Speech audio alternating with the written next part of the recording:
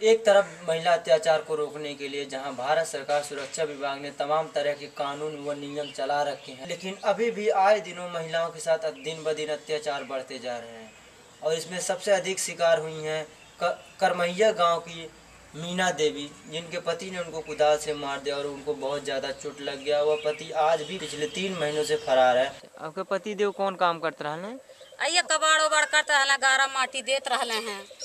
अच्छा और आप कौन काम करल जाला? हम का करीला घर ही रहीला अपन खेती बाड़ी करीला।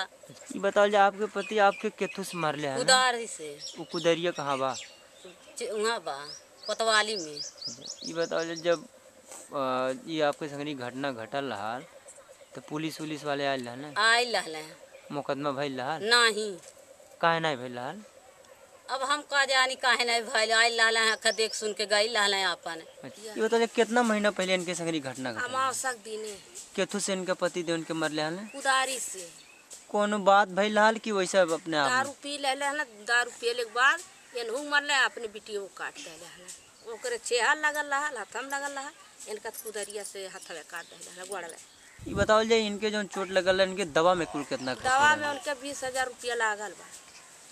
आई पैसा सब आयल कहाँ से? सब मजूरी कई गई कर्जा ले दे के बिखो दुई एक ठो टूम टाम रहा ओके बेच उच के अपन करौली दवाई।